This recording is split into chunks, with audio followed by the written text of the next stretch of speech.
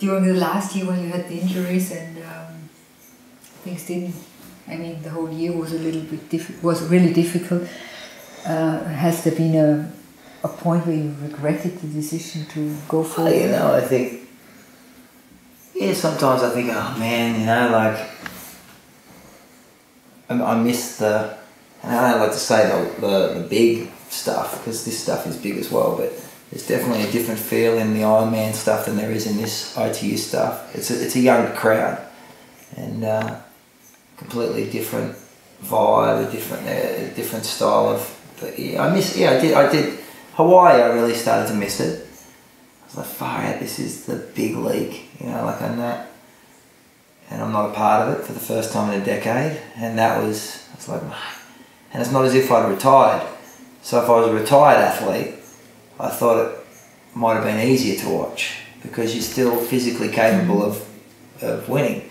So you think, shit, like, you know, I, I miss it, but you know, I've always been motivated by challenges, and, uh, and yeah, the Olympics, it's it's my last shot at it, and so why wouldn't I take a chance? And and unlike many of these other kids, it won't define me. If I if I get the phone call on April 15, sorry Chris, you missed out. I won't be like it was in April of 2000, where I didn't know what I could do with my life. I, I sat in my house in Sydney with my hands on my head, going, my life is over. I get the phone call the next day and be like, okay, thank you, boom. Off you go. Off I go. Like it's it won't define me, and I think that's the difference. And I know for a lot of young kids, it will define them, and they will be the person I was in 2000. And so it's it's a completely different vibe. So regret, you know, yeah, you miss the limelight, but it's not really a regret because I I'll be able to. I think I'll I'll see myself in 10 years' time as I'll thank myself for doing this, win or lose, because it won't be a a what if. I'll have answered that question in my own head. Oh, what if I should try for that Olympics? Oh, now it's a different experience. Yeah, now it's a, it's a, there'll be It's no a what ifs. journey. Yeah, I'll, I'll have won, the- I'll have won Hawaii and people will go, oh, what if you went back in 2011? And, and, I, and I said, well, I could have won it, but I won't, you know, in 10 years' time, I won't be saying to myself, you know, wonder how I would have gone had I tried to make the Olympics. There was a, probably a chance there I could have gone. I'll have answered that. No, I couldn't. I tried and I didn't, or Yeah. I, I tried and I did. So that, I think for me, for my own piece, you know, I think as an athlete I'm content athletically with what I've achieved and now I, I get motivated by different challenges by seeing friends compete well or racing individuals or, or looking for challenges that motivate me. You know, at the end of the day, I go back and win Kona again. Three, four, what, what will I, will I feel better? More of the same. Yeah, exactly. It's, it, it, it really is. It's more of the same. So you, you, you're looking for different. You know, if you climb, climb Mount Everest twice, do you go back there a third time, or do you find another mountain to, to check the view out from, or do you look for something else? And I think I've always been that, which has always made me different to many other athletes because I think they've always put their goals as the goals that they think they need to achieve in order to feel content in sport. My goals have always been personally motivated. I always wanted to go to Hawaii because it was the race that got me into the sport. I always wanted to go to an Olympics if I could because I used to watch it as a kid. I always wanted to win these Roth, for example, because my heroes did it, not because it was Roth or we are family or any of that. It was always motivated by my own things, and it's always driven my career. And I think people who know me, and a lot of people now are realizing that that passion has been my primary motivator, and and, and I've, I've not been Absolutely. yeah, I, and I feel that my decisions have been mine and they haven't been made for me by by other people saying, you know, you should win this race because it's important to have two of these in your resume or four of these. It's been well, no, it's, it's And what you say shows very clearly how you changed during all the years since you won the ITU World Championships in '97. If you look at the at the ITU uh, field or the way of racing, how what is the difference, the main difference between The size of the athletes, they're, they're you know, they're, a different, they're a different looking athlete than they were in uh, my era because they're, they're a product of the evolution of, of draft legal racing. You know, when I came across, we jet that the sport had just changed. So there was a much more mix of big guys and strong. And now they're all Yeah, little drafting. tiny guys. So that the, the drafting and the packs on the bike mm. changed. They made, I guess it was, Is you know, drafting the nature?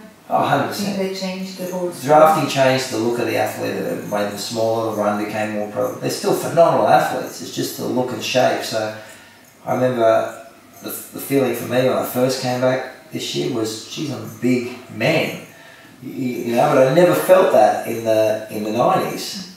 Never felt like a, one of the big guys in the field. But now you look at the Yeah, but if you look at the old videos, it doesn't show. It doesn't look like it's Yeah, big. Yeah, yeah, you're, you're not. There was a lot of bigger guys. You know, of course, there's six foot guys like Jan Frodeno and, and the Russians are big, but predominantly they're a, a very small build. You know, the, the Peter Robertsons and the Greg Welches when I was young were odd.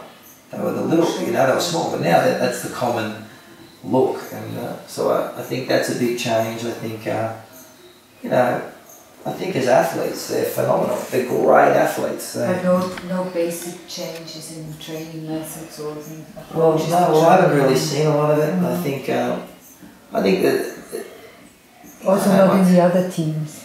yeah, I think that, I think other, there's always envy amongst other countries. I think the Swiss do a good job. I think the, you know, the English are obviously doing something well, but I, I just think, what I think is lost is the spark of the camaraderie.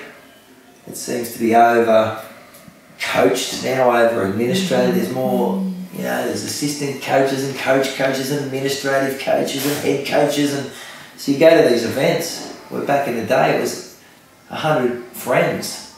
You'd have a beer after it and talk about it. It was, it was a lifestyle. It was driven by a, a common sport, but now it's just, people say it's for the better. Who knows? It's, it's, I I think it's different. Is it for the better? I think it's lost a bit of its soul Yeah. in that sense, and it's become very Olympic, you know, like yeah. USSR. Like I It's feel like, more about political correctness. yeah, it just seems there's no characters anymore. There's no, you know, Very streamlined. yeah, it's very, yeah, like a, a US strip mall. You know, they're all franchises. They're just flat. There's no, mm.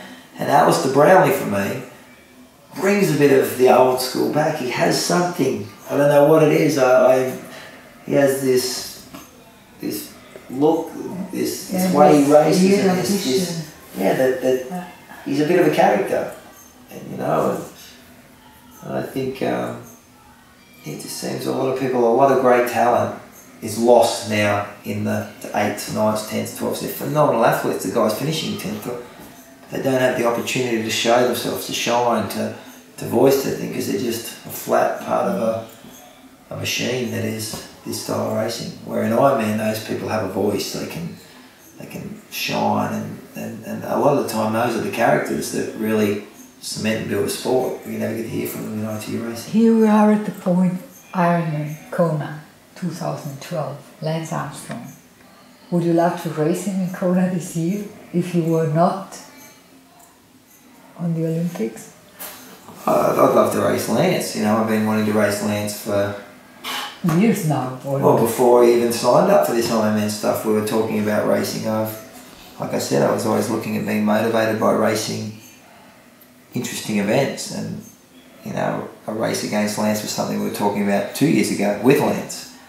Unfortunately, he opted to do the Ironman route, and uh, he's been relatively successful so far. Early, it's early. Um, uh, you know, you have to expect success. You know, fifty percent of the race is bike riding. He's one of the best bike riders, but you know, would I like to race him in Hawaii? I'd love to race him in Hawaii, but I'm not going to just put my hand up and go, oh, I'm coming back to Hawaii because I want to race Lance Armstrong. I would, as a former winner of the event, as a, I would, I'd like him to throw down the challenge. You know, as I think he should throw down to Craig Alexander. I can't, but I don't think he wants to. He's coming back to Ironman for completely different reasons, and I think he's very open about his what he's capable of. And if he can be successful, it's a bonus. So I, you know, I don't think he's going to put his hand and say, I want to race Chris McCormack and Craig Alexander and kick their butt in Hawaii because I think he, you know, I think he knows he can be successful, but he's not going to say anything, put himself out there because he knows Ironman could be cruel. He's got he's a smart guy. He's got a lot of smart people around him. And do I want to race him in Kona? I'd, I'd love nothing more. But will you see me in 2012 in Kona? Ask Ironman. you know, ask Ironman Corporation.